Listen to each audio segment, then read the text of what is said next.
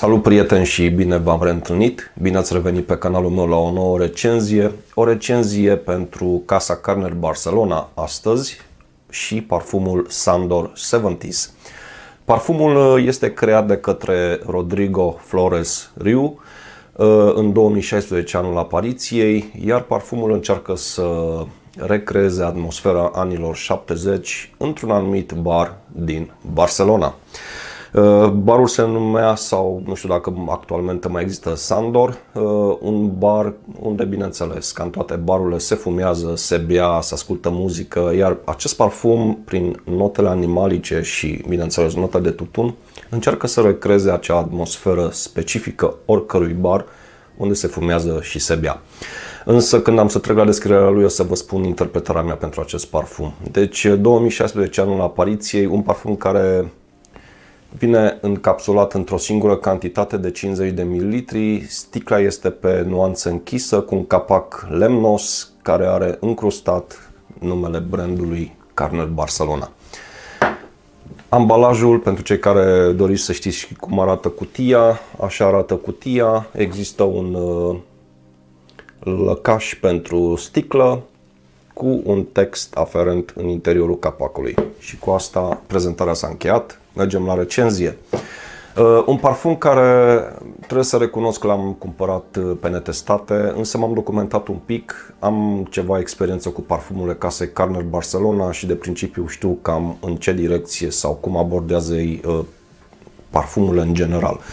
Uh, nu m-am înșelat cu acest parfum, cu siguranță este un parfum uh, Uh, diferit de ceea ce te aștepta poate de la un parfum cu tutun și note animalice, cu siguranță are un caracter aparte și îl consider un parfum adecvat pentru bărbații de peste 30 de ani.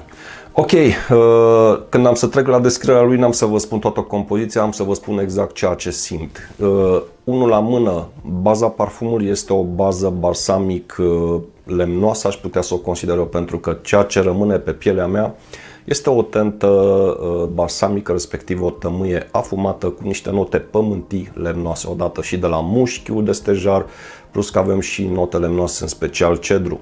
Uh, notele animalice în bază sunt foarte slabe, sunt foarte difuze, deci baza e mai degrabă o bază balsamică lemnoasă, comparativ cu deschiderea care este o deschidere animalic fructată, dulce, florală. Deci este o combinație destul de atipică în deschidere o deschidere care totuși uh, miroase destul de plăcut, de diferit și cu siguranță prinde bine pentru un bărbat care își dorește un parfum cât mai, hai să spun, nu select, dar care se iasă din tipare. Am să aplic pe acest tip de hârtie să vă spun ceea ce simt în deschidere, după aceea mergem și intrăm în toate detaliile tehnice ale parfumului. Deci deschiderea la acest parfum este o deschidere animalică dulce. Uh, am o senzație că în acest parfum s-a regăsit zibete, nu este listat, uh, sau castorum, pentru că este o combinație care duce, acum nu vreau să par vulgar, dar miroase ca atunci când intri într-o toaletă publică. Este un miros de urină, dulce. Uh, unii îl pot interpreta foarte grețos, însă ca senzație, nota aceasta animalică duce către o combinație de zibetă castoreum, pentru că este o notă dulce, murdară, cu tendințe de urină, însă foarte, hai să spunem, foarte polarizant și foarte interesant în același timp. Bineînțeles că după aceea apare o notă de piele care este o notă de piele, hai să zic eu, mai uh, uleioasă, este o notă de piele udă. Uh, sunt parfumuri unde nota de piele este mai verde, mai uscată, mai proaspătă, însă aici nota de piele este destul de umedă, dacă este să o caracterizez în acest fel, destul de grea. E ca și cum ai lăsat uh, un, uh, hai să spun, un produs din piele undeva în ploaie sau a stat într-o baltă, s-a îmbibat cu apă și miroase într-o tentă destul de diferită de o piele uscată, proaspătă proaspătă. Uh, se simte și ceva aromatic verde, avem tutun în parfum, însă nu-l pot percepe foarte bine, foarte potent, cât mai degrabă în deschidere este o deschidere ușor fructat florală. Există osmantus în acest parfum și cu siguranță îl percep. Este o tendință foarte dulce, ușor uh, apropiată notei de piersică, uh, în combinație cu note animalice. Deci deschidere dulce, animalică sau fructat animalică cu o bază balsamic pământie lemnoasă. Bun, v-am explicat deschiderea, am discutat și despre felul cum se așează parfumul. Uh, v-am spus și cam pe cine aș vedea eu parfumul acesta care sta foarte bine, respectiv pentru un bărbat de la 30 de ani în sus. El este catalogat unisex, însă nu știu cine sau ce doamnă sau domnișoară s-ar da cu acest parfum. N-ar fi neapărat ceva ieșit din comun, însă miroase destul de diferit pentru un parfum.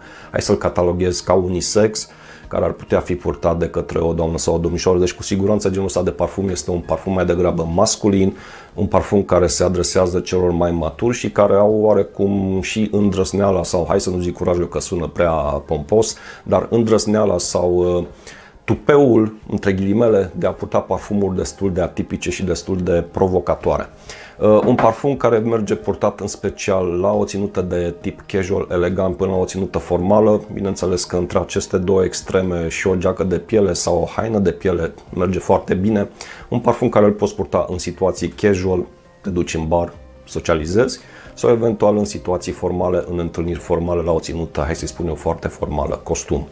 Un parfum care poate fi purtat pe temperaturi scăzute, respectiv, uh, cred că de la un 15 uh, grade în jos, acest parfum face minuni. La interior, dacă este o temperatură constantă de 20 de grade, cel mult de asemenea lucrează bine. Dacă este peste 20 de grade, în cazul meu am uh, observat că există o tendință de reducere a performanței și ajung și la performanță pentru că din punctul de vedere al longevității, pe pielea mea parfumul nu persistă mult.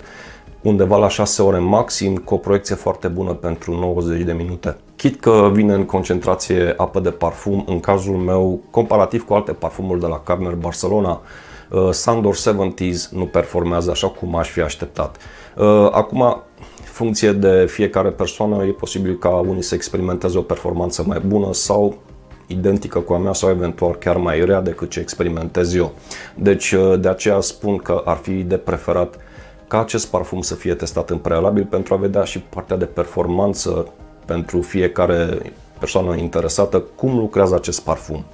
Un parfum care vine, așa cum am și menționat uh, la început, într-o singură cantitate, 50 de ml. Prețul de retail este de 180 de euro. Dacă țin bine minte, pe site-ul celor de la Carner Barcelona, acesta este prețul uh, de raft. Uh, pe anumite site-uri îl puteți găsi la un preț mai temperat, undeva la 100 de euro plus minus, deci pe acolo se învârte prețul la discounteri.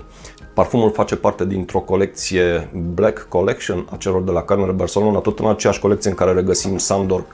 Mai uh, avem uh, Black Calamus, pe care îl dețin și l-am recenzat. Mai regăsim în aceeași colecție Volcano și uh, Rose and Dragon. Deci sunt patru parfumuri în această colecție.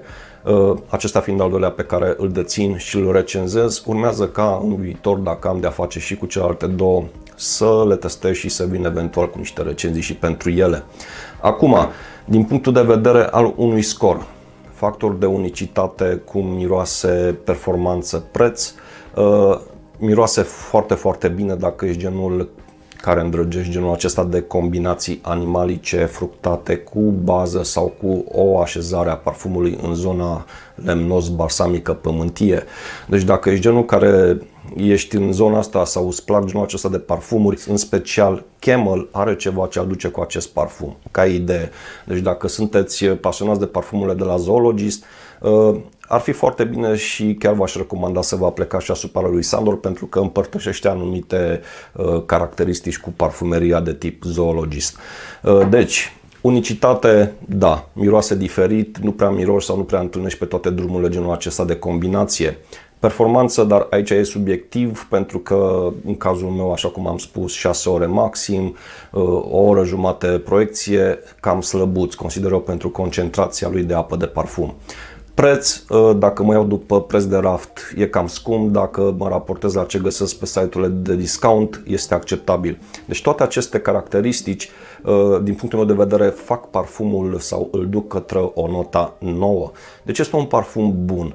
Uh, depinde acum de fiecare dacă se află în zona asta de a experimenta parfumuri cât mai diferite, cât mai atipice, dar care au un puternic impact atunci când îl purtați în societate, pentru că Așa cum am spus, genul ăsta de parfum nu îl întâlnești pe toate drumurile. În zona de mainstream nu cred că ai să găsești așa ceva. De aceea consider că merită toată atenția pentru cei care vă doriți parfumuri cât mai diferite, cu o tentă masculin pronunțată, dar care din păcate pe mine nu proiectează și nu performează așa cum mi-aș fi dorit. Deci rămâne doar să-l testați. Deci nota 9, concluzie finală, uh, toată recomandarea mea să-l încercați. Este un parfum care cu siguranță vă face o impresie uh, diferită de ceea ce eventual ați mai avut sau aveți și ca urmare încercați-l și mai departe veți decide în cunoștință de cauză. Acestea fiind spuse, pun punct acestui clip aici. Ca întotdeauna vă mulțumesc că m-ați urmărit pe parcursul acestei recenzii.